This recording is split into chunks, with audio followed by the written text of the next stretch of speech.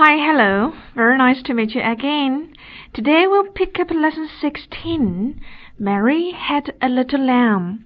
各位今天好，我们今天呢要讲十六课课文。Mary had a little lamb. 玛丽有一头小绵羊。嗯，好了，那么首先呢，还是请大家和我首先来把这个生词和短语一起看一看。Let's go over the new words and expressions. Now read it to me. Prize price, tie, tie, theft, theft, accuse, accuse, deny, deny, ashamed, ashamed, apologize, apologize, die, die. Okay, now first, I'd like to say something about price, but I think you are quite familiar with the small word price. 我相信大家好像对这个 price 这个小词呢都比较的熟悉。嗯，我们知道 price 呢，首先是可以做名词的啊。做名词讲的时候呢，是指奖品、奖金或者说是奖励。那我们经常在电视里面看到 啊，赢得什么什么大奖，我们还会常常见到这个安慰奖。安慰奖就叫做 booby prize。booby 呢，实际上是口语里面指的笨人和蠢人。booby prize，那么就是颁给笨人的奖，安慰奖。哎，好，我们说赢得大奖叫做 win a prize。win a prize。我们经常呢在颁奖大会上听到主持人是这么说的啊，一等奖获得者是 Peter。嗯，我们在英文里面如何来表达一等奖的获得者是谁谁谁这个概念呢？Say the first prize goes to Peter. The first prize goes to Peter. 好，接下来我们来看看夺得一等奖，就叫做 carry off the first prize。carry off 是夺得的意思。嗯。接下来我们再来看一看 price 呢，还可以当成是形容词来使用啊。我们来看看 price money，price money 呢指的就是奖金。And the next one，那么接下来请大家看一个例子啊，我们来看看这个短语作何理解呢？A price idiot. Wow, you know idiot means a fool, right? A very stupid person. Idiot 这个词呢指的是笨人啊，特别愚蠢的人。那么什么叫做 a price idiot？Okay, you know, price here means a complete fool. 那么 price 在这里面呢，就是一个，就是指一个非常完全彻底的傻瓜。OK，a price idiot 就是一个很傻很傻的人。And also you can say a price fool. And say sometimes price also means the best, the most important, or the most useful. 那么有的时候，price 作为形容词呢，还可以用来指最好的、最重要的和最有用的。嗯，我们就称之为是最珍贵和最宝贵的。好，里边说珍贵的财产，我们叫做 price possessions。price possessions。其实呢，用 price 这个词做形容词来表达珍贵和宝贵呢，它还有一个潜台词，就是令人骄傲的，让人感到特别骄傲的。And sometimes we also have precious。那么有的时候说到珍贵和宝贵这个词呢，我们还有另外一个词啊，就是 precious。Well, you know, precious means something which was important to you because you are connected with people you like. Precious 这个词呢，也是用来指珍贵和宝贵的啊。那么我们说呢，对你来说特别重要和珍贵的呢，主要是和与你喜欢的人有关系，我们才称之为 precious。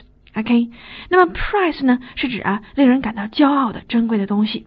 好，我们来看看啊，一般情况下我们说珍贵的历史遗迹呢，我们会这样来表达：precious historical relics。precious historical relics。那么有的时候我们说珍贵的财产呢，如果你觉得是与你喜欢的人啊，你喜你所在乎的人相关联的时候呢，我们也可以说 precious possessions。precious possessions。好，接下来我要问问大家了。那你说这个珍贵动物或者说珍奇动物，我们用什么呢？首先，我们要剖析一下这个汉语的潜台词啊。在汉语里面，说到珍奇动物呢，一般是指濒临灭绝的少量的、为数不多的，对不对？那么从这个含义出发呢，我们要说成 rare animals。那么有的时候在汉语里面，我们说珍贵的东西啊，还有一层含义，就是指特别有价值的、特别值钱的。那你比如说啊，一幅值钱的画，或者说名画，我们可以称之为 valuable painting。呀，valuable 这个词呢，就是指值钱的。好了，我们说宝贵的时间。嗯，这个时候呢，我们最好说成 valuable time。那大家知道啊，我们生活在一个崇尚时间即为金钱的社会，那么也就不难理解为什么宝贵时间要说成 valuable time，right? Okay, and finally say price also sometimes can be used as verb. 好，最后我们说 price 在有些时候呢还可以用成动词，意思就是珍视和珍惜。好，我们说珍视友情就叫做 price the friendship. Price the friendship. Alright, once again, now let's come from the very beginning. 好，接下来大家和我从头一起呢，再来复习一遍啊。Price, booby price, Winner price. The first prize goes to Peter. Carry off the first prize. Prize money a prize idiot,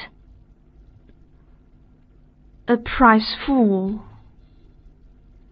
prize possessions, precious, precious historical relics, precious possessions, rare animals, valuable, a valuable painting, valuable time. Price the friendship. Okay, the next one. 那么接下来我们再来看另外一个词 tie。 OK，大家知道 tie 呢，首先可以用成动词啊，用意思呢就是指用绳子把什么东西系上。好，我相信大家还记得我们在前面讲过的一个笑话啊，说这个家伙呢把马拴在了哪里了？千万不要告诉我那是蝗虫啊。这个 locust 还可以用来指杨槐树，对不对？好，我们说把马拴在了一棵杨槐树上，就叫做 tie the horse to a locust。He tied the horse to a locust。好，那么接下来呢，我们再来看看 tie 用在比较。嗯，抽象的含义上，或者呢，它用在了隐身的含义上，指的是被什么什么缠绕着，忙于什么。好，我们说一个家庭主妇呢，整天围着厨房锅台团团转，嗯，我们就用 tie 这个词。好，我们来看看怎么来表达呢？A housewife tied to the kitchen all day. A housewife tied to the kitchen all day。那么大家看一看这个说法是不是特别的形象呢？tie 好像是把这个家庭主妇和厨房呢系在一起了。And also you can say a housewife confined to kitchen all day. Confined to kitchen, confined 是局限和限制的意思。那么这还可以用来表示呢囚禁和被困啊，好像这个家庭主妇呢就圈在了。厨房里面，right? Okay. And the next one say tie the knot. Knot 好像是这个编织衣物的时候呢所打的一个结儿啊，一个结儿。Tie the knot，字面上说啊是系上一个结儿。那么这个系上一个结儿让我们想到了什么呢？哎，我们说这个人结婚的时候，我们会说他们喜结良缘，right? So tie the knot means get married. 那么结婚喜结良缘呢，我们就可以叫做 tie the knot. Okay, the next one be tied up. You know, be tied up means very busy, or to be occupied or engaged.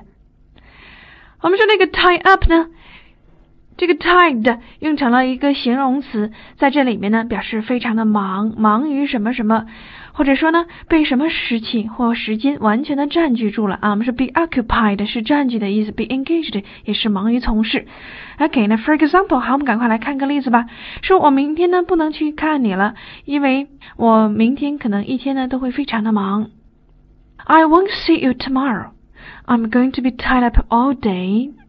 那么在这句话里，我们就就见到了啊，I'm going to be tied up all day。我可能呢一整天，明天的一整天。都被捆的不能动弹了啊，意思是很忙。好了，实际上呢，我们还可以用另外一个非常小的词汇，就是 book。I'm booked all day tomorrow。嗯，book 好像有预定的意思啊。我们说明天呢，我被一整天都预定出去了啊，实际上是指啊，我明天一整天都会特别的忙。OK，那么接下来我们来看看这个 tied up 用来形容交通，做什么样的理解呢？The traffic is tied up。好，交通呢被捆得死死的，嗯，意思就是指啊，交通不畅，交通不畅。And say tie also can be used as noun。我们说 tie 呢这个词还可以用来作为名词，意思是指啊。这个领结或者是蝴蝶结，那么你可以说成 bow tie。那么 bow 呢是指弯弓样子的啊，弯弯的 bow tie 在这里面就是指蝴蝶结或者是领结。Or of course, or simply you can say bow instead。或者呢，你也可以简单的就称之为 bow。那么经常我们在体育比赛里面见到 tie 这个词的用法呢，是指 end in a tie 啊，这个比赛结束了。那么比赛的结局呢是 in a tie。In a tie 的感觉就是让我们觉得啊，这个比赛的双方呢，好像就是靠一根绳子系在了一起，是不是不分输赢、不分胜负啊？我们就称之为平局。End in a tie 意思就是打平。Okay, now once again，好，我们赶快一起再来复习一遍啊。Tie. He tied the horse to a locust. A housewife tied to the kitchen all day a housewife confined to kitchen all day. Tie the knot. Get married. Be tied up. be busy. Be occupied or engaged. I won't see you tomorrow. I'm going to be tied up all day. I won't see you tomorrow. I'm booked all day tomorrow. The traffic is tied up. Bow tie. End in a tie. Okay, the next one. Okay，那么请大家和我一起来看下面这个小词，theft。theft，theft 呢是指偷窃行为或者呢偷窃案。那么呢，它是 steal 的名词。好，我们先来看看这个 theft。OK，好，我们说该地区呢发生了几起偷窃案。该地区发生了几起偷窃案，那我们就用到了这个 theft。Say there are a number of thefts in the area. There are a number of thefts in the area. 这个地区呢有几起偷窃案。好，我们刚才还提过了啊，它的动词形式呢是 steal，right？You know, steal something means to take something away illegally. Steal 这个词呢，我们可以简单的理解成啊，就是拿走，但是这个拿走是 illegally，是非法的，触犯法律的那种行径，啊，我们叫做偷窃，right？好，你比如说啊，有个人趁我睡觉的时候呢，把我的护照偷走了。Someone stole my passport while I was asleep. 好，说起来的偷呢，就让我们想到了其他各式各样的偷啊。你比如说 rob，我 you know rob means to take something away from somebody with violence in public places。rob 这个词呢，通常是指用暴力在公开场合强抢豪夺啊。我们经常听到的抢劫银行就叫做 rob a bank，rob a bank。 那么抢了某人什么东西叫做 rob somebody of something。大家请注意一下啊，rob 这个词的后面呢，一定要 rob somebody of something，而不能是 rob somebody something，它不能直接带双宾语。OK，好，那么接下来呢，我们还想到了我们曾经讲过的一个一个小小的一个 idiom 啊，一个成语，说 rob Peter and pay Paul，抢了 Peter 的，然后就给了 Paul，我们就叫做拆东墙补西墙，right？好，那么接下来再请大家看一看行窃这个词啊，burgle，you know burgle is British English。Yeah, it means to steal something, especially during the night. 它特别是指呢夜间行窃。And in American English, we have burglarize instead. 那么在美式英语里面呢，我们会用到 burglarize。大家很明显的从拼写上看出来了啊，burglarize 这个词呢以 i z a 结尾，这是一个动词化的词尾。好了，不管哪一个词都可以用来做动词，指的是夜间行窃。好了，我们说这个夜间的入室行窃或者偷盗办公室，就可以叫做 burglarize a house，burglarize an office。 Okay, the next one we have pickpocket. Okay, you know pickpocket means you know somebody steal things from your pocket. Usually when you are in a crowd of people. OK，pickpocket 这个词的字面上啊，这个含义就比较的清晰了哈，好像是捡口袋。它专门是指呢，哎，在人群拥挤的时候行窃别人口袋的那种人，叫什么来着？扒手，对不对？OK，好，我们一起来一遍啊，theft。There are a number of thefts in the area. Steal something. Take something away illegally. Someone stole my passport while I was asleep. Rob. Rob a bank. Rob somebody of something. Rob Peter and pay Paul. Burgle. Burglarize. Burglarize a house burglarize an office, pickpocket. OK，那么我们在这个十六课呢遇到了这么多表示行窃的词，那么接下来我们来看看啊，如果真的有人行窃了，我们一定要记得指控他才对。Right？好，我们来看看指控这个词就叫做 accuse。Say accuse somebody of something or accuse somebody of doing something。那么 accuse 这个词呢是可以用来指啊指控某人犯有什么罪，或者说呢指出别人犯有什么样的一个错误。好，我们说他被指控呢犯有偷窃罪，就可以说成 he was accused of theft。那么通常呢，我们说用来表示被指控什么什么啊，我们是要用被动语态的。He was accused of theft。他被指控犯有偷窃罪。And sometimes we also can say be charged with.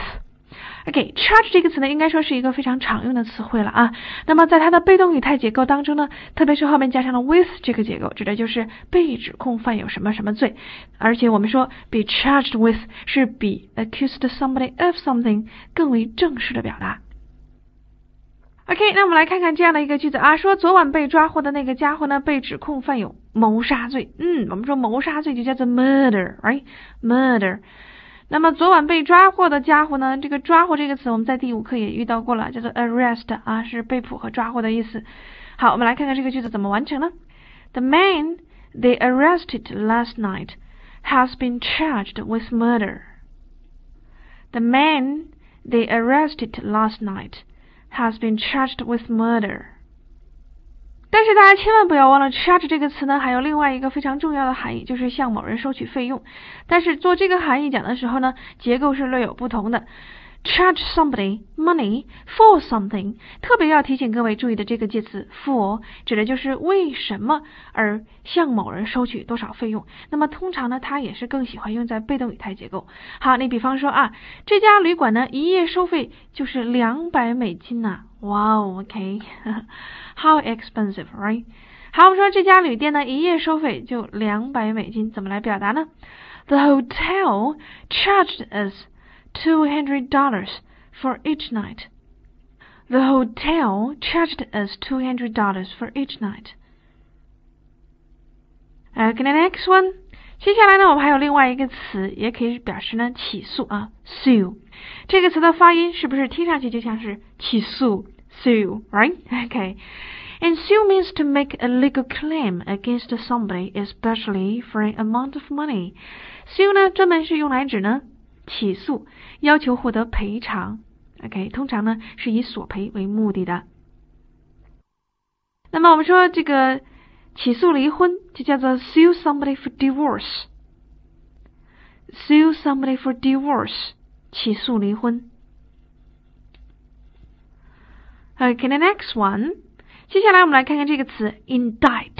好，各位注意一下发音，这个词呢，字母 C 是一个哑音，letter C is unsounded，is a mute，它不发音是哑音啊。indict，我们说呢，indict 作为动词是一个法律术语啊，对触犯刑法的行为进行起诉。我们这样来表达，indict somebody for something，因什么什么而起诉某人。那么通常呢，它也是用在被动语态结构。好，我们来看看下面这个例子啊，说他被起诉犯有诈骗罪。诈骗罪我们就可以叫做 fraud。被起诉犯有诈骗罪，我们说 he was indicted for fraud。He was indicted for fraud. The next one, 好，接下来我们还有一个词就是 prosecute。prosecute。It means to officially say that someone is guilty and must be judged by a lower court。那么 prosecute 这个词呢，特别是指啊，一定要诉诸法庭的，提交法庭的，对什么提起公诉啊，是公诉的意思。好，我们来看看啊，在一个商品经济特别发达的现代社会呢，这个商业性的案件特别的多啊。那我们经常看到下面的这种说法：如果我们在三月十一日之前还未收到你们的货款，我们只有提起公诉了。如果我们在三月十一日之前还没有收到你们的货款，只有提起公诉了。If payment has not been received by March the eleventh. we will be forced to prosecute. Payment 指的是货款，这可不是工资。OK， 那么我们说呢是我们如果没有收到货款，那么在 if 的条件句当中呢，我们用了一个什么呢？哎，用了一个被动态啊，has not been received，如果还没有被收到。那么 by March the eleventh 指的就是在三月十一号之前。那么我们又说过啊，介词 by 呢是可以用来引起完成时的，对不对？所以在这里面我们至少见到了一个 has not been received。那么接下来我们说，我们只有不得不被迫起诉了，用了一个 be forced to do something。好，我们把这个句子再来看一遍啊。If payment has not been received by March the eleventh, we will be forced to prosecute. OK，那 once again，好，我们赶快一起再把这么多的表示起诉的词再来复习一遍啊。Repeat after me. Accuse. Accuse somebody of doing something. He was accused of theft. Be charged with. The man they arrested last night has been charged with murder. Charge somebody money for something. The hotel charged us $200 for each night. Sue. Sue somebody for divorce. Indict. Indict somebody for something. He was indicted for fraud. Prosecute. If payment has not been received by March the 11th will be forced to prosecute. Okay, the next one 好，请大家 和我一起继续啊，我们来看看下面一个单词叫做 deny。哎，首先听到 deny 这个词的发音呢，就让我们想到了汉语里面的两个字叫做抵赖，是不是啊？deny 让我们想到了 deny，，没错，deny 这个词呢就是指矢口否认。OK，矢口否认。It means to say that what has been said or done is not true。这个英文的解释也特别的简单，它告诉我们说啊，就是否认一切别人对自己的判断或者是评价，拒不承认，矢口否认。那么与之相反，我们说承认呢，应该叫做 admit。OK，admit。但是我们在前几课的题当中呢，我们遇到了 admit 这个词，我们说呢，admit 后面一定要加动名词做它的宾语，也就是说 admit doing something，right？好了，那么接下来我们来看看怎么来使用 deny 这个小词呢？我们说他否认与该事件有任何牵连。我们经常在那个呃新闻报道里面听到这样的话，特别是具有身份和地位的上层人物，常常出现什么丑闻的时候，他们就会用这样的句子为自己开脱。他否认呢与该事件有任何牵连。我们来看看怎么表达呢？He denied any involvement in the affair. He denied any involvement in the affair. 好，我们看到了在 deny 的后面呢，我们用了名词 any involvement，任何形式上的牵连啊，我们就把表达了这个含义。好了，接下来我有一个句子要呈现给大家，嗯，大家自己来思考一下，怎么分才合适呢？He denies her nothing. You can also say he denies nothing to her. 字面上说，他对他所有的一切都不否认。都承认是不是啊？我们说这个句子就叫做他对他有求必应啊。好了，那么接下来呢，我们来看看 deny 这个词还通常可以用在那个句型结构当中。那比如说，It cannot be denied that，It cannot be denied that，大家首先要注意一下啊，cannot 如果不缩写的时候呢，我们要把它合在一起写，中间是没有空格的。OK，那么 it cannot be denied that 字面上的意思就是不可否认的是什么什么。那么我们还有另外一个说法，就是 there is no denying that 啊，不可否认的是，或者说不想否认。OK，好，我们来看看下面这个句子啊，不可否认啊，他为我们做了一件好事。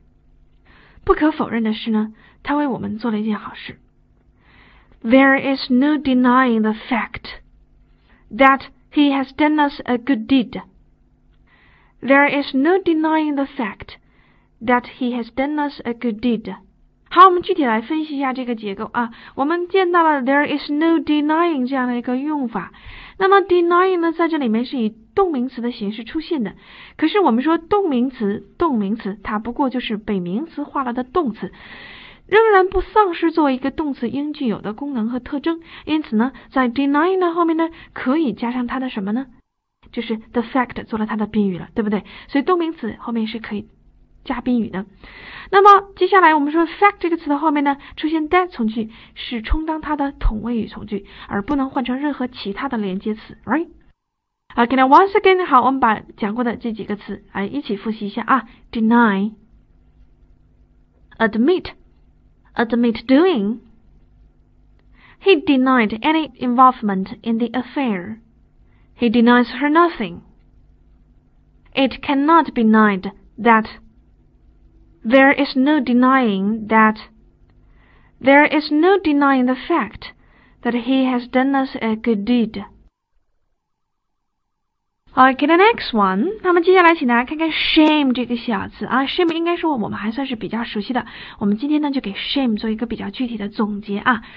And first, say shame can be used as noun。那么 shame 可以当成什么来使用呢？当成名词来使用啊，它是抽象概念的，指的就是羞耻和惭愧。OK，shame 的发音是不是也容易让我们联想到了羞耻？shame，羞耻。And in English, it means an uncomfortable feeling you have. When you have done something wrong，那么英文里面呢，它的具体含义是这样的啊，就是指啊，在你做错了一件事情之后呢，你有一种非常不舒服的、不踏实的一种感情。那么是不是就像我们汉语说的羞耻和惭愧呢？好，我们来看看啊，口语里面我们说，嗯，真丢死人了，真丢人，就叫做 What a shame！What a shame！那么接下来我们来看看 shame 的形容词形式。首先我们看到了一个 shameful，shameful 指的就是可耻的。好，我们说可耻的行为就叫做 shameful behavior，shameful behavior。好，那么接下来我们在 shame 这个词的后面加上了 l e s s 啊，那么一点羞耻感都没有的，我们说 shameless 指的是无耻的，shameless。And the next one，那么接下来我们再来看看 ashamed，请各位注意啊，我们在 shame 的前面呢加上一个字母 a，结尾呢以 ed 结尾。我们说通常以字母 a 开头的这样的形容词呢都是表语形容词啊，用来做系动词的表语的。ashamed 指的是感到羞耻、感到惭愧。好，我们来看看下面这个短语啊，be ashamed of something，叫做为什么而感到非常的羞耻和羞愧。好，我们说他为自己的失败呢感到万分的羞愧。He is ashamed of his failure. He is ashamed of his failure. 好，那么接下来呢，我们还会遇见到这样的一种用法啊，be ashamed of having done something。那么呢，我们在 of 的后面见到了动名词的完成式。 OK，那么这个完成时呢，就告诉我们说，这个 of 后面的这个动作 then 呢是先于 ashamed 发生了，也就是说你是为了曾经做了什么事情而感到非常的羞愧。好，我们来看看下面这个例子，我为我刚才向母亲撒了谎而感到非常的羞愧。I was ashamed of having lied to my mother. I was ashamed of having lied to my mother. Okay, now once again，好，我们赶快来一起再复习一下啊。Shame, what a shame! Shameful, shameful, shameful behavior, shameless, ashamed, be ashamed of something. He is ashamed of his failure. Be ashamed of having done something. I was ashamed of having lied to my mother. Okay, the next one. 好，那么接下来呢，我们来看看有关道歉的词啊。看来自己做错了事情之后呢，一定要记得赶忙道歉呐。OK，apologize。 As I have told you, I the e used at the end of the word. It is a son of verb. 那么，正如我刚才所说过的，I the e 呢，用在一个单词的结尾呢，往往是一个动词化的一个标志和象征。所以，apologize 是动词，意思是向某人道歉。好，我们经常呢把 apologize 用在下面的结构当中，apologize for something，意思就是就某事啊向某致歉啊，就某事致歉。 I apologize for the delay to your letter。嗯，我们来看看下面这个句子啊。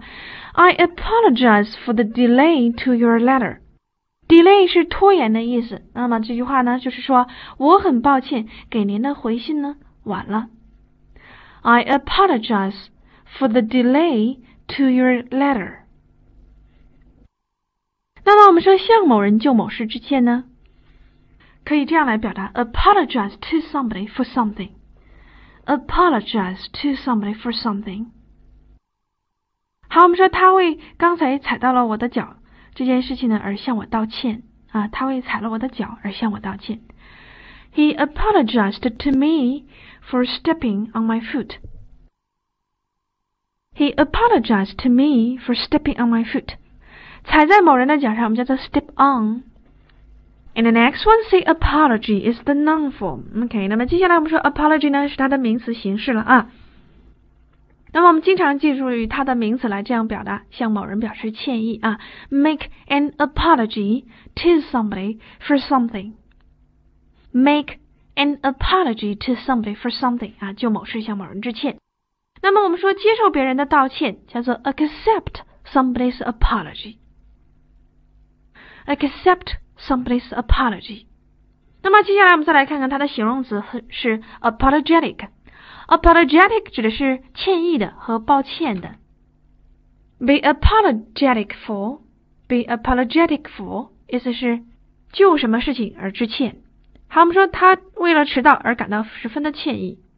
He was very apologetic for coming late. He was very apologetic for coming late. OK, now once again，好，我们赶快一起来把道歉这几个词复习一下。Apologize, apologize for something. I apologize for the delay to your letter. Apologize to somebody for something. He apologized to me for stepping on my foot. Apology. Make an apology to somebody for something accept somebody's apology. Apologetic. Be apologetic for. He was very apologetic for coming late. Okay, now the last word I'd like to say something about is die. 那么最后我要讲的一个小词呢，就是 die。OK，那么首先来看一下 die 这个词的拼写，叫做 d y e。 这个拼写可不是死亡的 d i e，OK？那么 die 呢，在这里面做动词是染色的意思，OK？In English, it means to give something a different color。那就是说呢，给一个东西呢一种另外一种颜色啊，有别于它本身的颜色。那么说起来，die 这个词呢，确实无论是从发音还是从拼写上，它特别容易和死这个词相混淆啊，就是 d i e die 这个词。那么首先我们来看看染色这个词的 i n g 形式呢。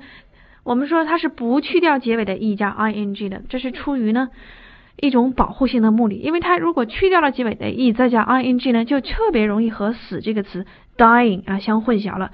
所以染色的 i n g 形式，请大家记好 d y e i n g。那么它的过去式和分词呢是规则动词，在结尾直接加 e d 就可以了啊，died，died。那么这一点呢，应该说 die 呢。从拼写形式上与它不一致，但是在拼写规律上呢是一致的。die 作为死，也是一个规则动词，直接在后面加上 d 就可以了啊。died，died。好，我们说把什么东西染成黑色呢？叫做 dye something black。这个时候 something 呢是做了一个宾语，后面的 black 是做了宾语的补足语。OK，是对宾语的补充说明啊。dye something black 是把什么东西染黑了。那我们说染蓝了怎么说呢？dye something blue，right？那我们说这个人把他的头发染成了金黄色啊，金黄色我们叫做 blonde。dye her hair blonde。嗯，dye her hair blonde。好，接下来我们来看看 die 用在抽象意义的场合上是怎么来使用的啊。冉冉升起的朝阳呢，或者说徐徐下降的夕阳，染红了整个天空啊，多优美的句子啊！我们说这个朝阳也好，是夕阳也好，似乎染红了整个天空，怎么来表达呢？好，冉冉升起的，我们用了一个动态的感觉，是不是？我们有了一个动态的感觉，用的就是 rising。rising 在这里面呢，应该说就是现在分词做了定语了啊，就有一种十分动态的感觉。The rising sun dyed the sky red。那么我们再来看一看啊，我们说徐徐下降的夕阳染红了整个天空。我们与 rise 相对呢，嗯，指太阳落山，还可以说 set，right？好，这个句子我们一起来把它表达出来好吗？The setting sun dyed the sky red. The setting sun dyed the sky red. Okay, now once again，好，我们最后一起再来复习一遍啊，die, dying, died, died, dye something black, dye something blue, dye her hair blonde. The rising sun dyed the sky red. The setting sun dyed the sky red。接下来，请大家看一看我们十六课的课文。Okay, now read after me. Lesson 16 Mary had a little lamb. Mary and her husband Dmitri lived in the tiny village of Perikara in southern Greece. One of Mary's prized possessions was a little white lamb which her husband had given her. She kept it tied to a tree in a field during the day and went to fetch it every evening. One evening, however, the lamb was missing. The rope had been cut, so it was obvious that the lamb had been stolen. OK，我们说十六课呢，应该说是一篇啊比较轻松的小文章。好，我们来一起来欣赏一下这篇文章。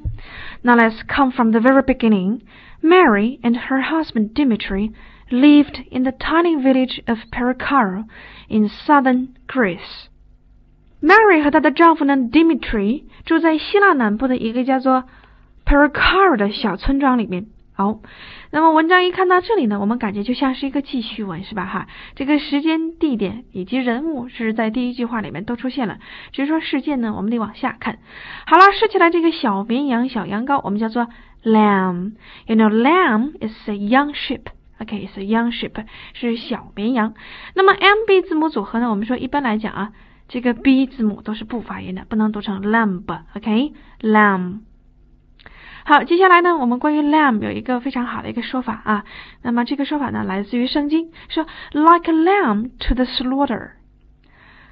OK，那么 slaughter 好像是这个屠宰场的意思啊，like lamb to the slaughter，好像呢是一只羊就被带到了屠宰场里面，是不是？我们叫做羊入虎口啊。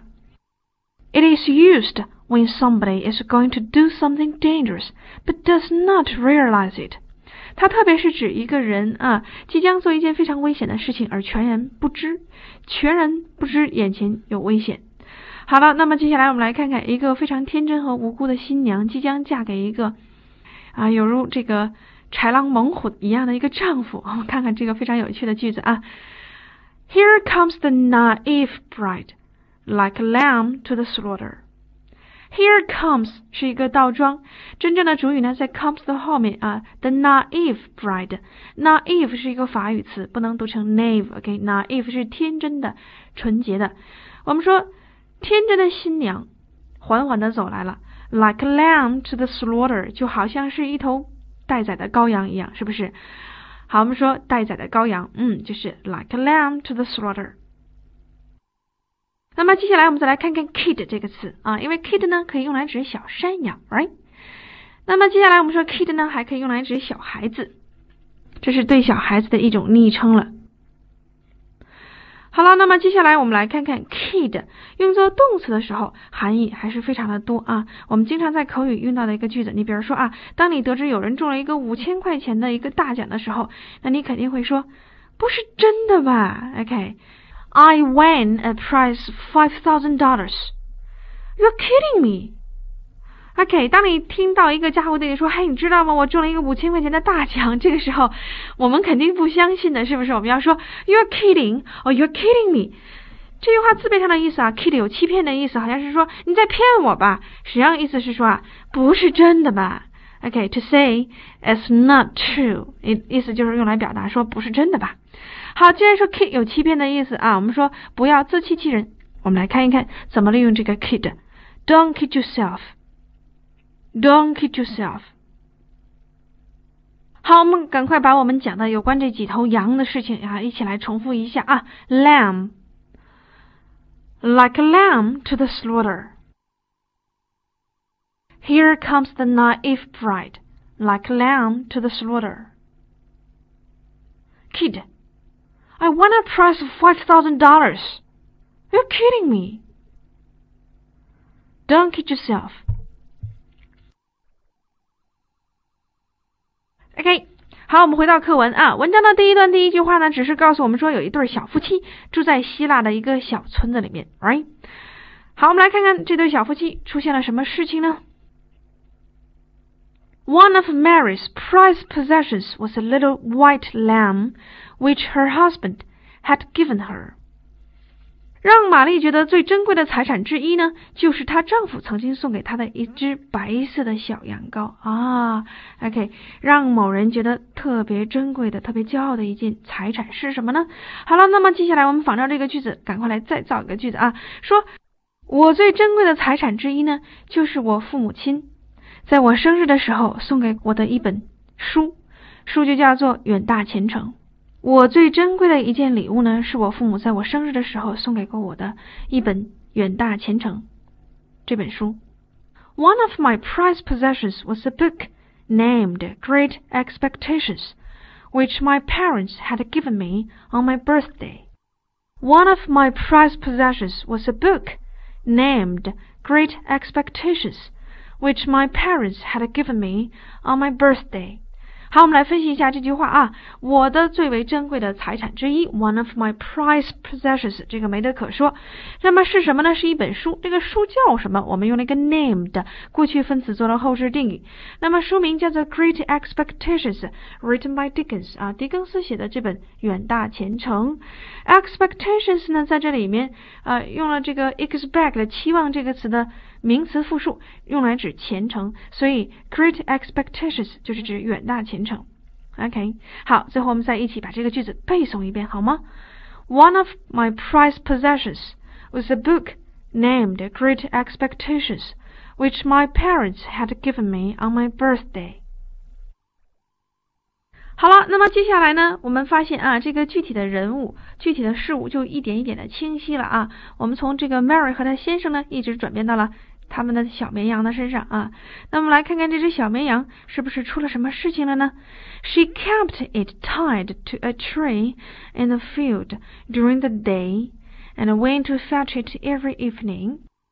好，我们看这个 Mary 特别的喜欢她这头羊，于是呢，白天的时候呢，Mary 就会把羔羊拴在地里的一棵树上。每天晚上呢，再把它牵回家。嗯，实在是爱护有加，是不是？好，我们见到了一个 keep it tied to a tree。那我们在这个结构当中呢，我们说 it 是做了 keep 它的宾语。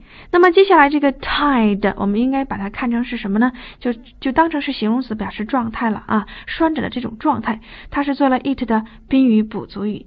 keep it tied to a tree 就是把它拴到一棵树上。那么接下来我们再看另外一个句子啊，说我会随时通知你这个结果，我会随时通知你结果。那么这个随时呢，往往我们从汉语的角度表达来看呢，会用到这个 often，或者是说，嗯，不停的告诉你等等这样一个含义。其实 keep 这个词呢，作为一个动词，就很好的表达了使之一直不断的进行一个动作，对不对？那么我说我会随时通知你结果啊，使你一直能够知晓结果，我们就可以说 I'll keep you informed of the result. I'll keep you informed of the result. 那么这个句子是不是给人一种耳目一新的感觉呢？Keep you informed。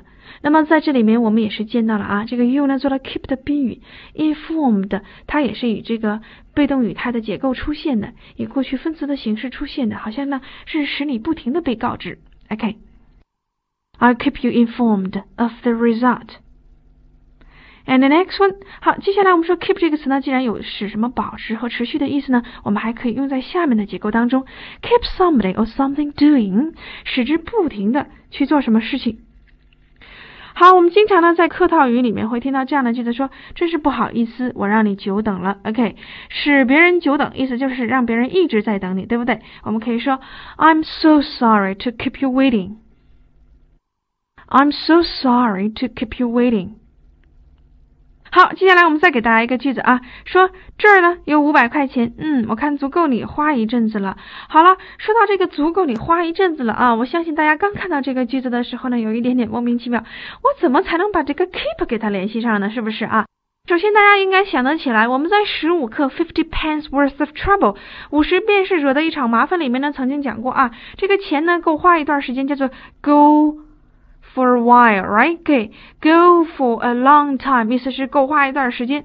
那么我们说使得你呢足够花上一段时间了，是不是可以把 keep 和 go for a while 联系起来呢？哎，你如果能够想到这一点，这个句子也就解决了啊。好，我们来看看，这有五百块钱，足够你花上一阵子了，怎么来表达呢？Here's five hundred dollars that will keep you going for a while. Here's five hundred dollars. That will keep you going for a while。字面上说，这儿的五百块钱呢，足可以让你啊走上很长的一段时间了。我们说这个 go for 是持续的意思，right？OK。And the next one，好，我们来看看 keep 另外的一个用法是指啊不让某人做什么事情，keep somebody from doing something。好，我们说这个这条河呢不允许小孩子在夏天的时候游泳啊，我们就可以说 the river。 kept children from swimming in summer. The river kept children from swimming in summer. Keep 还有不要告诉别人什么事情的含义。你比如说啊，千万不要把真相告诉我父亲啊。Keep the truth from my father. Keep the truth from my father. 好，接下来我们说呢 ，Keep from 还可以用来指呢，保护什么，以免受什么什么的这个含义。OK，那你比如说啊，说呢，我把土豆都泡到盐水里面了，啊，以免它腐烂了。OK，也就是说使它呢远离了变腐烂的这种可能性，对不对？我们就用了一个 keep from，使之不会这样子。I put potatoes in salted water to keep them from turning bad. OK，salted water 指的是盐水啊，我把这个土豆呢放到盐水里面去了。那么接下来我们来看这个 to keep 啊，这个目的状语里面说 to keep them from turning bad，turn bad 意思是变坏了的意思啊，就是腐烂的意思。keep them from 意思就是不让它腐烂了，right？好，我们赶快来一起把这个 keep 的短语一起复习一下啊，keep it tied to a tree。I'll keep you informed of the result. keep somebody or something doing. I'm so sorry to keep you waiting. Here's $500 that will keep you going for a while. Keep somebody from doing something. The river kept children from swimming in summer. Keep the truth from my father. I put potatoes in salted water to keep them from turning bad. Okay, now let's continue. 那么呢，Mary 白天的时候是把这只小绵羊拴在了一棵大树上。那么晚上呢，他就 went to fetch it every evening. OK，我们在接下来后半句当中呢，遇到了 fetch 这个词，晚上他就去取了啊。So fetch means go and get something back. Fetch 这个词就是指去， 然后呢拿了什么东西再回来，我们就称之为取。OK，so fetch something from 叫做把什么东西从哪里面取回来，接回来。好，我们说接孩子们放学就可以叫做 fetch the kids from school。Fetch the kids from school。那么接下来我们说去给某人取啊，去给某人拿什么东西呢？还可以说 fetch something for somebody somebody，or rather say，或者呢干脆就这么说 fetch somebody something。这个 fetch somebody something 呢，我们也看出来 fetch 是可以用来携带双宾语的，是不是啊？OK，那我们来看看下面这个句子啊，请把那本书呢给我拿过来。Please fetch me that book。请把那本书呢给我取过来啊。Please fetch me that book。好，那么接下来我们来看看这样一个短语，说 fetch somebody a blow or fetch somebody a clip。 好，我们知道 blow 呢，用来做动词是刮风的意思，可是做名词却是指一顿拳脚、拳打脚踢啊，是打架和殴打的意思。那么后面的 clip 也是指发生这个殴打的意思。那么去给别人取回来一顿拳打脚踢，意思是打了某人一顿。OK，fetch somebody a blow，fetch somebody a clip。好，我们赶快一起再来复习一遍啊，fetch，go and get something back，fetch something from。Fetch the keys from school. Fetch something for somebody. Fetch somebody something. Please fetch me that book. Fetch somebody a blow. Fetch somebody a clip. Okay, now let's continue. 好了，作者呢在这句话当中向我们叙述了一个 Mary 的一个经常性的一个动作啊。 那么接下来我们说，是不是一定要出现新事情，这篇文章才可以写得下去呢？如果 Mary 每天只是重复着这两个动作，那就没得可写了，是不是？好，我们看到了啊，果不其然，出事了。One evening, however，好了，我们说这么大的一个 however 语篇标识词在这里面摆着了，大家绝对不可以视而不见。平地突兀，嗯，我们发现终于出现了一些事情了。The lamb was missing。结果有一天晚上呢，这只小绵羊就不见了。OK，was missing 就是不见了。The rope had been cut, so it was obvious that the lamb had been stolen。好，绳子呢被割断了。那就很明显啦，小羔羊呢是被人给偷走了。OK，好了，我们说这是非常明显的一件事情啊，终于出事儿了，有的人偷了一只羊。好了，文章的第一段呢到这里结束了。我们发现啊，第一段呢确实是一个非常典型的小小的记叙文段落啊，时间、地点、人物和事件都有了。那么接下来的第二段，我相信呢，它应该是按照这个事件的起因、发展以及事件的结局来一一向我们道来。这个绵羊是怎么偷的？这个事情是怎么解决的呢？When Dimitri came in from the fields, his wife told him what had happened. 好，我们说，当 Dimitri 啊 Mary 的丈夫从地里回来的时候呢，他的妻子就赶快把情况跟他说了一说。OK，Dimitri at once set out to find the thief。结果她的丈夫呢，就立刻出发。去找寻这个小偷了啊！好了，我们来看看出发叫做 set out。实际上，我们说这个短语呢是非常好理解的。为什么说呢？set 本身是可以用作形容词的，它表示形容词的时候呢是指准备的、准备妥当的、一切准备就绪的。那么 out 呢是指向外、到外面去。所以 set out 是指啊，准备好了之后呢，就到外面去了。那是不是出发的意思呢？Right？OK，。那么我们说 out 既然是向外的意思，我们给大家更多的例子，希望大家能够产生一种感性上的认识，并最终呢，哎，上升到一种理性的高度啊。我们说 stand out 是站出来，Right？那么如果我们看到体育比赛当中有这样的一则新闻，说某一个运动员呢 stand out in the next game。他在下一场比赛当中，他将站出来。那我们说，运动员不上场站出来干嘛了呢？那就是指不参加下一场比赛了。Stand out in the next game，不参加下一场比赛。OK，the next one stay out。stay 呢是停留和居住的意思啊。那我们说就住在外边吧，意思就是走到户外。另外呢，我们说 stay out 还有不插手的意思。好，我们说这个你不要插手我的事情，stay out of my business。stay out of my business。好，另外我们非常熟悉的一个短语 find out，意思就是查出来，把什么东西找到之后呢，还要把它揪出来，查出和发现，right？OK，那 once again，好，我们一起赶快再来复习一下：set out，stand out，stand out in the next game，stay out，stay out of my business，find out。 OK，好了，我们来看看他的情形如何呢？小偷在这么小的一个村子里面，到底是好找还是不好找呢？He knew it would not prove difficult in such a small village。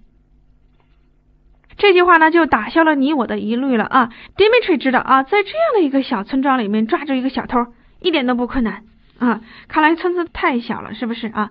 好了，我们来看看这个句子。He knew it would not prove difficult in such a small village。显然，not prove difficult 意思就是说呀，这显然不成问题，right？OK。或者呢，我们再来换一种其他的方式来表达，还可以这样说啊：He would find it no difficult. He would find it no difficult. 意思是他会 马上发现这不成问题。OK，He would find it no difficult. In another way，那么或者用另外一种方式来表达，还可以说 That will not prove to be difficult. That will not prove to be difficult. 那个显然是不成问题的。OK，好，我们看看他有怎么样的把握说这个不成问题呢？After telling several of his friends about the theft, Dmitry found out That his neighbor Eliko had suddenly acquired a new lamb. 好了，我们看看他终于得到了一种什么样的发现，什么样的线索呢？Dimitri 把失窃的事情啊告诉了他的几个朋友之后呢，他忽然发现他的邻居 Aliko 他们家突然多了一只小羔羊。OK，怎么他们家就多了一头羊呢？好了，我们先不要去怀疑人家啊，我们先来看看 tell somebody about something。好，我们来看看这个短语啊。我们知道 tell 这个词呢是可以用双宾语的，我们完全可以说 tell somebody something，告诉某人某事，right？你比如说啊。向某人撒谎，可以说 tell somebody a lie。给某人讲了一个故事，tell somebody a story。告知某人事实，tell somebody the truth。但是在这篇文章里面呢，我们见到了一个 tell somebody about something。那么这个介词 about 一出现呢，是指啊，告诉某人有关某事，哎，它就是更具体了。告诉某人有关某事。好，我们来看看下面这个句子啊。我们说，给我讲讲有关你新工作的事儿吧。Tell me something about your new job. OK, tell me something about your new job. 给我讲讲有关你新工作的事儿吧。那么有的时候呢，我们说明明是及物动词，可它后面呢偏偏要加上一个 about，特别是指啊表示与了解啊对什么有所了解这样的词的后面呢，我们说 about 的出现呢只是。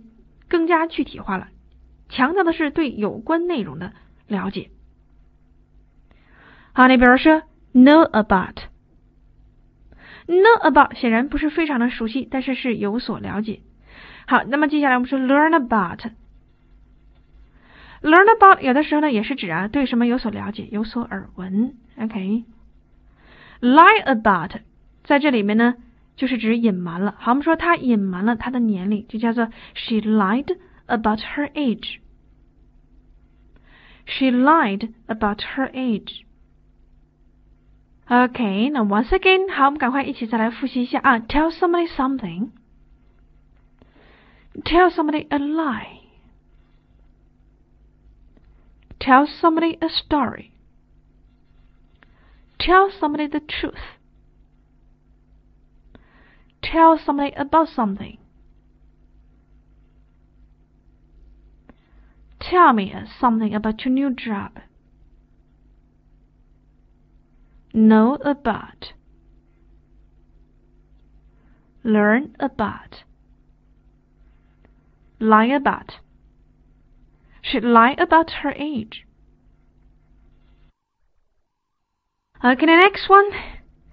好了，他跟他的几个朋友啊都告诉了这件事情之后呢，他就忽然发现他的这个邻居啊一下子怎么样了呢？Suddenly acquired a new lamb. OK，那我们看到的这个 acquire，哇，you know acquire means to buy or get something, especially something expensive or difficult to get. acquire 这个词呢，显然它不是一个口语的表达，而是一个非常正式的一个书面语的形式。它是指呢得到了极其昂贵或者呢是不容易得到的一些东西。OK，我们就叫做 acquire 啊，得到的意思。And sometimes acquire also means to learn knowledge, skills, etc. by your own efforts. 那么接下来呢，我们说 acquire 有的时候还可以用来指啊，通过自己的努力而获得某一种知识、某一项技能，嗯，就叫做 acquire。好，我们说获得很高的名誉，就叫做 acquire a high reputation。But you know, get get is the most common word in spoken and informal writing. Get 呢是在口语的表达当中，呃，使用的非常广泛的一个小词，而且在非正式的文体当中，get 也是常常用到的啊。那么有的时候我们说 get 呢，用在下面这个结构当中，我们来看一看，get hold of something。get hold of something 呢，也是指得到，but it means especially you get something after difficult。它特别是指啊，在经历了困难之后才得到了。什么什么东西？好，我们来看看下面这个句子吧。我们说，在他辛苦工作了多年之后呢，他终于得到了一个宝贵的机会。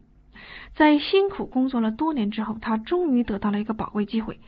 He gets hold of a rare chance after working hard for years. He gets hold of a rare chance after working hard for years. OK，the next one，那我们知道 obtain 这个词呢，也是有得到的意思。But you know, obtain is not very commonly used in spoken English, but it is used in formal writing. Obtain 这个词在口语的表达当中是很少用到的，但是在正式的文章当中呢，还是常常会用到。Obtain 也是得到的意思。OK，and the next one, receive. But you know, receive sounds slightly formal. Receive 这个词呢，听上去啊，就是较为正式的一种表达。 OK，而且呢，receive 这个词往往还有哎得到钱和收集到钱财的意思。好，你比如说，这个慈善团体呢，通过私人的募捐而得到钱。慈善团体通过私人募捐而得到钱。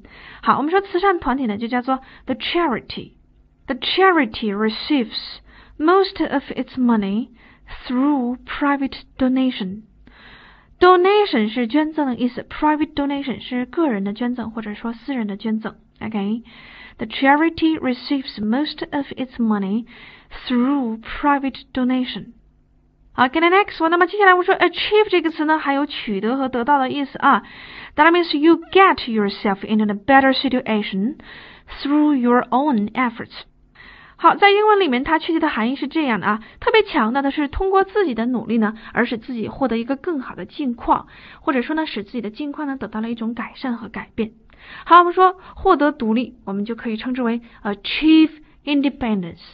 那么显然，这个独立是一种非常好的一种境界，对不对？显然是从不独立呢向独立的一个飞跃，achieve independence。All right，那 once again，好，我们学了那么多表示得到的词，赶快和我一起来复习一下好吗？acquire。acquire a high reputation. Get, get hold of something. He gets hold of a rare chance after working hard for years. He gets hold of a rare chance after working hard for years. Obtain, obtain, receive, receive. The charity receives most of its money through private donation achieve achieve independence. Okay, let's continue. 好，我们继续向后看啊。 这个邻居 Alec 怎么家里突然多多了一头小羊呢？我们说 Dimitri 马上就怀疑到他的邻居了啊。Dimitri immediately went to Alec's house and angrily accused him of stealing the lamb。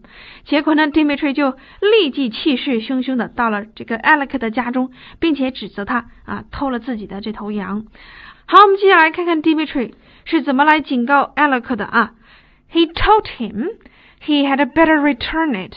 Or he would call the police. OK，那 call the police 我们在前面已经见过了，是报警的意思啊。他告诉他说，你最好呢把它给我还回来，要不然的话，OK，我在这里面是一个连词啊，要不然，否则的话呢，我可就要报警了。好了，说到 or 这个词在这里面用作连词，表示否则和要不然。那么我们要给大家更多的例子。You know, or used to warn or advise someone that if they do not something then something they do not want will happen。哈，这个英文的解释说的非常的有意思啊。他说，这个 or 这个连词呢是用来警告或者说是强烈的命令某人啊，说他们必须要做什么事情。如果他们要是不做的话，他们不希望看到的事情就即将发生了。我们说这个实在是太具有威胁性了，是不是啊？好，我们来看看更多的例子。你最好呢按照我所告诉你的要求去做，否则的话你会后悔的。你最好按我告诉你的去做，否则你会后悔的。You'd better do as I told you, or you will be sorry. You'd better do as I told you, or you will be sorry. 好，有的时候我们说 or else 呢，这个小小的这个短语呢放在一起也是一个省略的表达，用来是否则要不然的话。OK。好，我们来看看下面这个例子啊，说你明天呢最好去，要不然的话就有你好瞧的啊。我们说这个 or else 在这里面就是一个非常缩略的表达，实际上它的含义就是要不然就有你好瞧的，有你后悔的。You'd better be there tomorrow or else. You'd better be there tomorrow or else. 好了，我们把这两个句子再来一起复习一遍啊。You'd better do as I told you, or you will be sorry. You'd better be there tomorrow, or else. 好了，那么我们说 Dimitri 这么气势汹汹的指责 Alec，那么 Alec 是如何为自己辩解的呢？Alec denied taking it and led Dimitri into his backyard。好，我们看到了啊，Alec 怎么样呢？Denied 啊，他拒不承认呢偷了那头羊，and led Dimitri into his backyard，并且呢还把 Dimitri 带到他的。 后院里面去了哦。说到后院这个词呢，我们叫做 backyard。那么后门呢，叫做 back door。那么 back door 一般合在一起写的时候呢，我们把它当成形容词来看待，是指后门的啊，手段不正当的。那么分开写啊，就是指后门 back door。好了，那么接下来呢，我们给大家一个例子啊，我们说，嗯，他是怎么样上了大学呢？他是靠走后门上了大学。那我们说，she。went to the university by back door. She went to the university by back door. 好，那么接下来呢，我们来看一看 backrooms boy。OK，backroom 好像是坐在后面房间里面的人啊。backrooms boy 是指啊参与国家机密研究的科学家，我们称之为智囊团。好，接下来我们见到一个这样的说法，叫做 backseat driver。You must be wondering, okay, you know, there is only one driver in a car who is always sitting in the front seat. But so how could the driver sit in the back seat? 那我们说这个一个汽车呢，只有一个 driver，只有一个司机，是不是啊？通常他都是坐在前座的前排的。那这个 driver 怎么又坐到后排去了？那么说坐在后面的人呢，往往是指指手画脚的乱批评的人，right？哎，指手画脚、乱批评的人。OK，那 once again，好，我们赶快一起再来复习一遍啊。Backyard, back door, back door. She went to the university by back door. Backrooms boy, backseat driver. Okay, now let's continue. 呃，Ella 口矢口否认之后呢，还把 Dimitri 带到了他自家的小院当中。It was true that he had just bought a lamb, he explained, but his lamb was black. 好了，我们见到这句话啊，说 It was true that but 说尽管呢他刚刚买了一头羊，这是件真的事儿，这件事儿倒是真的。但是呢，他的羊可是黑的呀。OK，好了，我们在这句话当中得到了一个结构，叫做 It was true or It is true that but，说这倒是真的，但是怎么怎么样？好，我们来看看下面一个句子啊，我们说，嗯，他不是特别的聪明，这确实是真的，但他异常刻苦。这句话就相当于说什么呢？尽管他不聪明，可是他非常的刻苦。It is true that he is not quite clever, but he is very diligent. 哦，原来人家是刚买了一头羊，不过呢，这头羊它是黑的呀。那我们来看看 Dimitri 对自己鲁莽的行为是怎么样的表示的呢 ？Ashamed of having acted so rashly, Dmitri apologized to Aleko for having accused him. Dmitri 为自己的鲁莽而感到非常的不好意思，向 Aleko 道了歉。 OK，好了，我们来看看这个句子啊，ashamed of having done something，意思是为自己呢做过什么事情而感到非常的惭愧和内疚。那么在这句话当中呢，我们说 ashamed 是形容词啊，做了这个伴随状语，或者呢也有一种观点认为呢，这是 ashamed of doing something 是作为这个原因状语啊。OK，那么来看看更多的一个例子啊，我们说为自己冤枉了和错怪了妻子感到非常的羞愧。他向妻子表达了歉意，为错怪了和冤枉了妻子而感到非常的惭愧呢。他向妻子表达了歉意。那么说冤枉了某人可以用 wrong somebody，right？OK。好，我们说 ashamed of having wronged his wife，he was very apologetic。他为自己呢冤枉了妻子而感到十分的惭愧，而连连表示歉意。好，那么接下来我们说这个。Ashamed of 啊，是为什么感到惭愧，对不对？那我们再来看看，由于对什么深信不疑、确信无疑啊，那么一个非常类似的一个表达，在结构上非常类似的表达。我们在第一课里面遇到了 convince 这个词，好，我们用它的 ed 形式呢来做形容词，convinced of something 叫做由于对什么深信不疑而怎么怎么样。好，我们说由于对他的诚实深信不疑，他决定呢和他成为朋友，convinced。of his honesty, he decided to make a friend of him. Convinced of his honesty, he decided to make a friend of him. Okay, now once again, 好，我们赶快一起再来复习一遍啊。Ashamed of having wronged his wife, he was very apologetic. Convinced of something, convinced of his honesty, he decided to make a friend of him. Okay, now let's continue. 好了，我们说他向人家表示了歉意之后呢，接下来我们又看出了什么其他的事情了呢？While they were talking, it began to rain, and Dimitri stayed in Aleka's house until the rain stopped. 好，当两个人在交流、在说话的时候呢，就下起了大雨。于是 Dimitri 呢，只能是在 Alec 的家中躲过了这场雨啊，在他的家里面一直待着，一直到雨停了。OK，那么说到了这个 until 这个词呢，我们在这里面已经不是第一次出现了啊。我们要给大家一些更多的例子来巩固一下对 until 这个词的用法。好，那么请大家来看这样一个句子啊，我们说人们呢，很少能够意识到健康的宝贵。一直到他失去健康的时候，或者我们把这句话呢，把它这个翻译的圆满一点，叫做人们直到失去了健康的时候，才意识得到健康是多么的宝贵。好了，在这句话里面呢，我们会用到一个什么呢？Until，right？那么说很少会意识到，我们还会用到一个什么？Seldom，right？Seldom。那么宝贵的健康啊，说健康是多么的珍贵和宝贵呢？我们就可以用这个 precious。right？哎，precious。好，我们来看看这个句子怎么表达。People seldom realize how precious their health is until it is lost.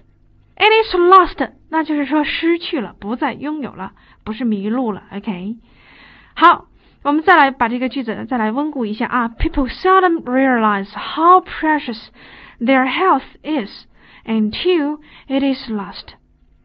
好，那么我们说，如果 seldom 这个表示否定含义的副词提于句首的时候呢，我们有可能还用到倒装的情形。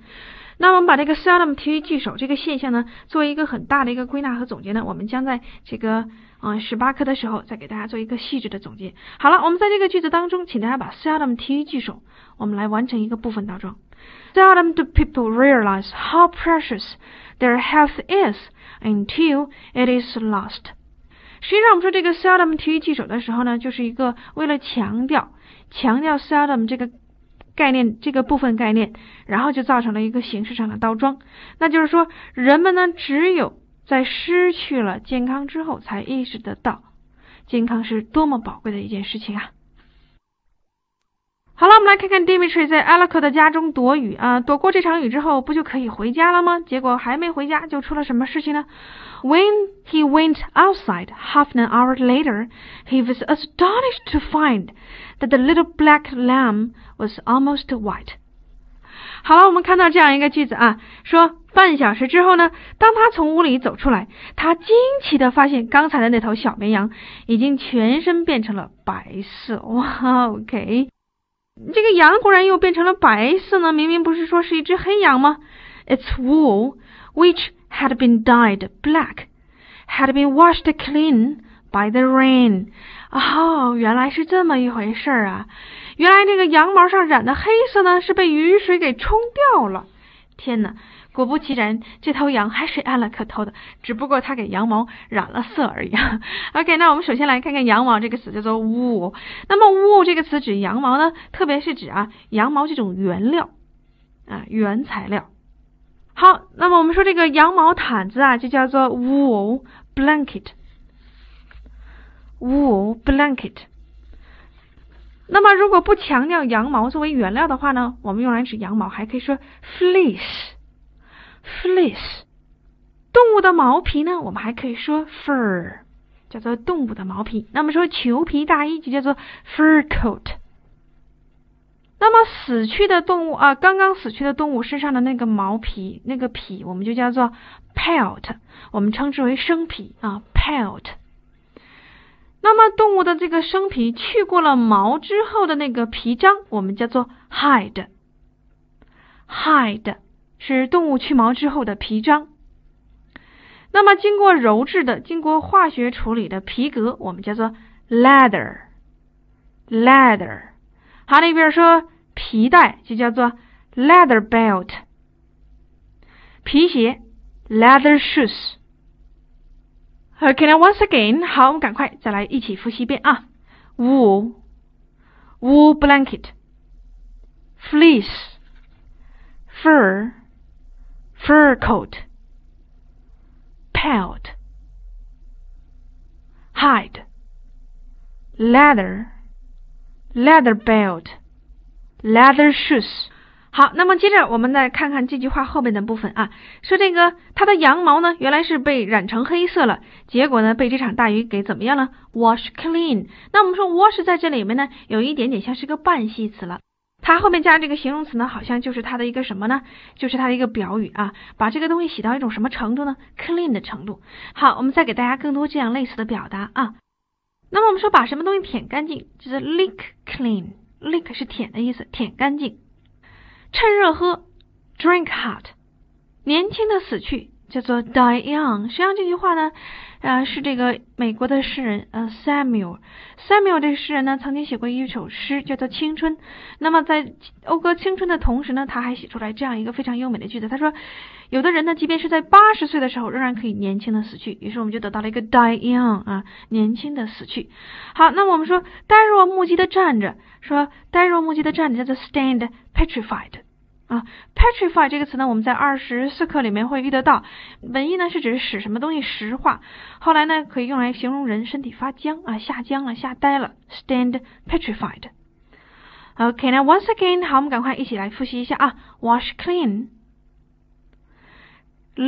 clean，drink hot，die young，stand petrified。 Now it's time for review。好，接下来呢，各位是我们的复习时间了。我们首先来复习一下啊，回忆一下我们在第一段当中遇到的一个句子。我们说这个 Mary 呢，总是在白天的时候把羊拴在地里的一棵树上。She kept it tied to a tree in the field. OK，那么我们回忆一下，我们当时啊在讲课文的过程当中讲到的这个 keep It tie 这个用法。那首先我们说这个 keep it 这个 it 是它的什么？哎，形式宾语，对不对？那么 tie 在这里面呢就做了它的宾语补足语，对不对？好了，我们还讲了这样一个例子，说我会随时通知你结果的，叫做 I'll keep you informed of the result。right？那么这个 keep 呢，有使之持续保持状态的意思。那么说到保持呢，当时我们又讲了另外一个短语啊，keep somebody or something doing，使之持续不停的进行。好，我们经常会用到下面的这种场合当中。你比如说，哎呀，真不好意思让你久等了，叫做 I'm so sorry to keep you waiting。I'm so sorry to keep you waiting。好，那么接下来我们再来看看啊，我们又用到了这个十五课讲过的一个非常好的短语，叫做花钱嘛，够花一阵子的啊。我们说五百块钱足够你花上一阵子的，就叫做 Here's five hundred dollars that will keep you going for a while. Here's five hundred dollars that will keep you going for a while. Okay, the next one. 那么接下来呢，我们又说了啊，这个 keep somebody from doing something 呢，加了一个 from 之后呢，就变成了不让某人做某事了，可不是让某人不停的做了啊。那么说这条河呢，夏天的时候就不让小孩子们游泳了。The river kept children from swimming in summer. The river kept children from swimming in summer. 好了，我们说别把这件事情告诉我父亲，就叫做。 Keep the truth from my father。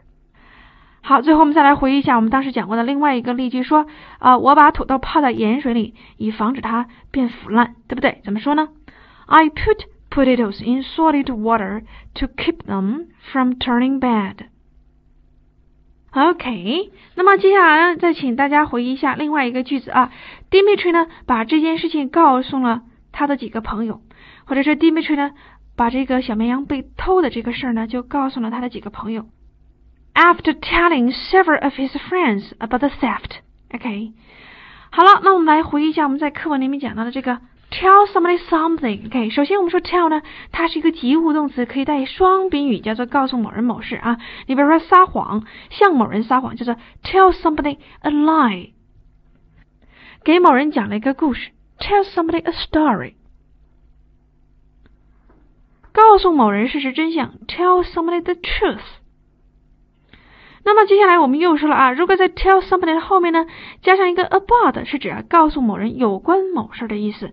那么这个 about 呢，介词的出现就使得更加具体化了。好，你比如说，给我讲讲有关你新工作的事儿吧。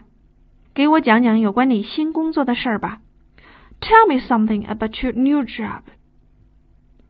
那么类似这样的用法呢，我们还可以说啊，know about 叫做对什么什么东西或有关什么东西呢有一点点了解。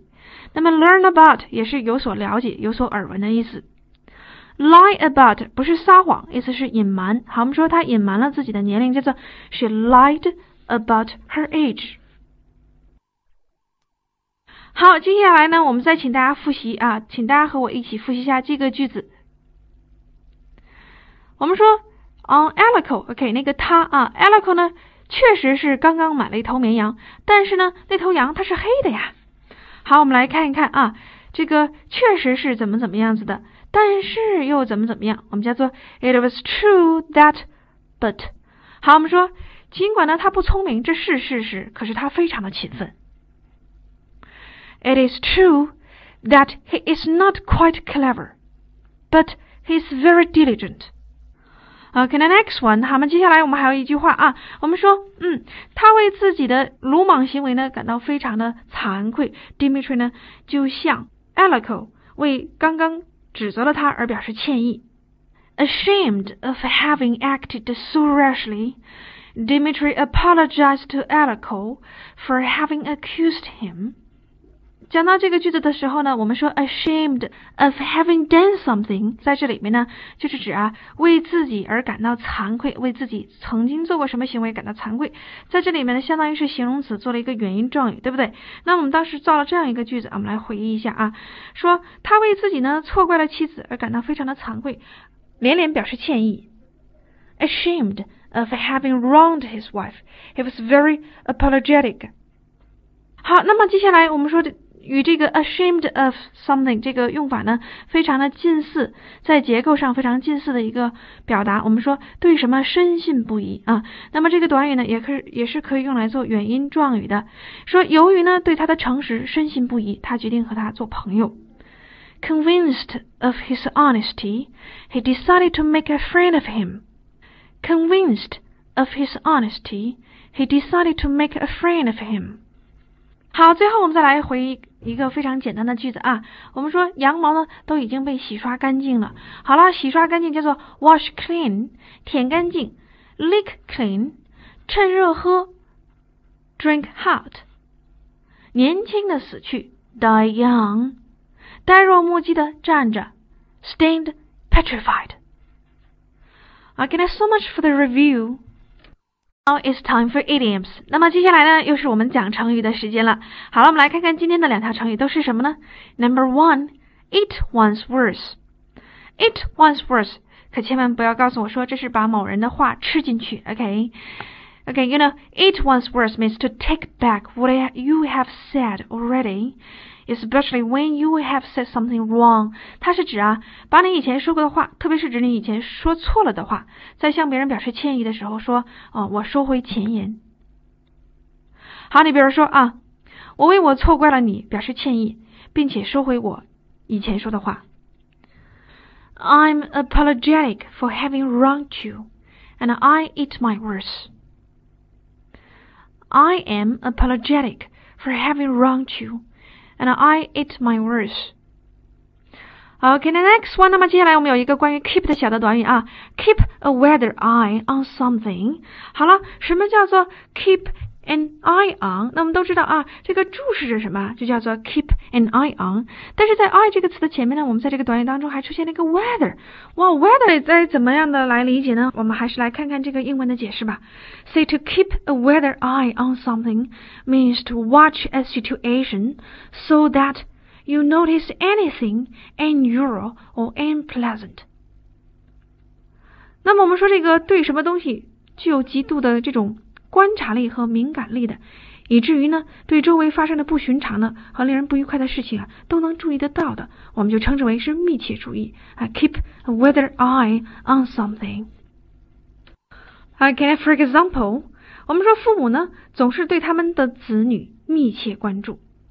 Parents are always keeping a weather eye on their children. Parents are always keeping a weather eye on their children. OK，好，我们最后呢，再把这两个成语一起来复习一下啊。收回前言叫做 eat one's words。I am apologetic for having wronged you, and I eat my words. Keep a weather eye on something. Parents are always keeping a weather eye on their children. And now please look at the exercises in lesson sixteen. 好，接下来请大家看第十六课的练习。Number six, on her husband's return, what had happened? 那么她的丈夫呢回来的时候，然后她就怎么样呢？告诉了她的丈夫，哎，这一切对不对啊？本题呢是有关形容词性物主代词在相关句子结构中的使用问题。好，我们发现这个 C 选项啊，Mary told him，它是比较有明确的指代意义的。而我们来看看这个 A 选项啊，On her husband's return，On her husband's returns 啊，她的丈夫刚一回来。然后我们又看 A 选项说了一个 his wife，他的妻子，等于前后两个说法呢换了不同的参照物。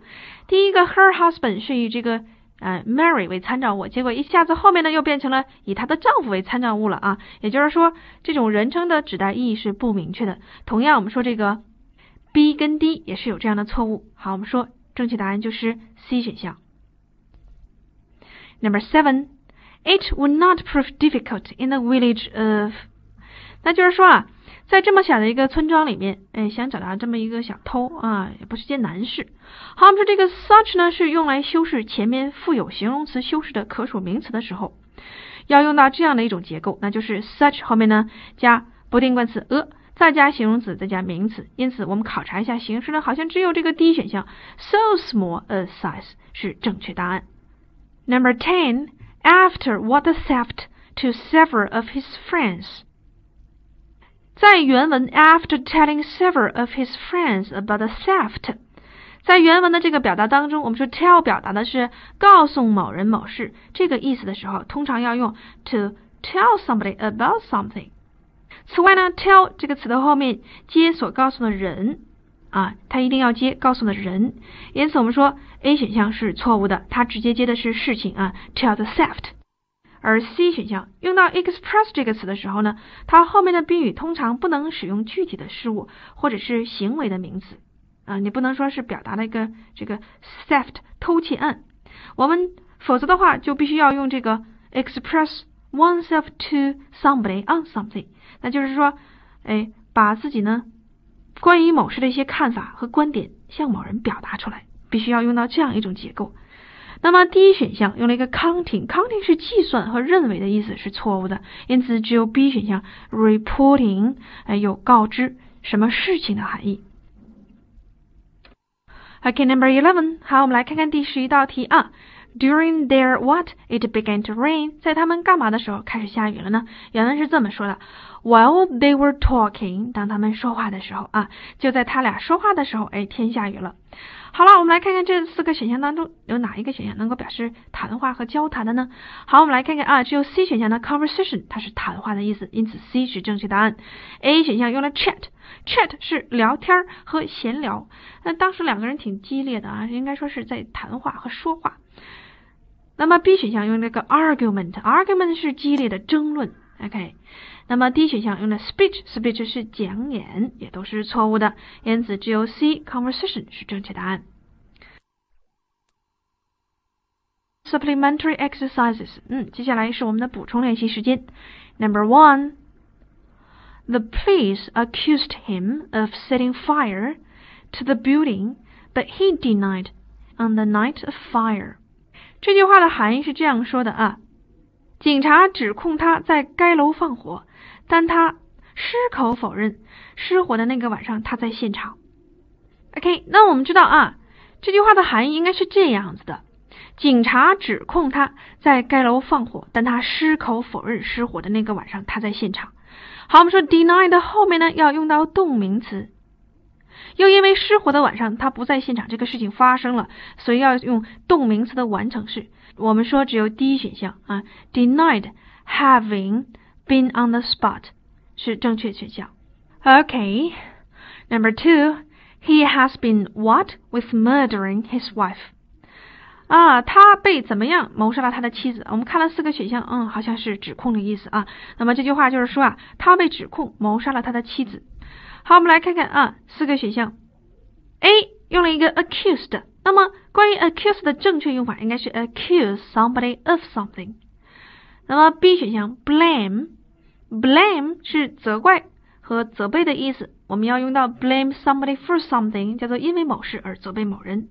而 D 选项 arrest 则是指逮捕，arrest somebody for something，因为某事而逮捕某人。只有 C 选项 charge somebody with something 是指控的含义，哎，这个搭配也是正确的，所以 C 是正确答案。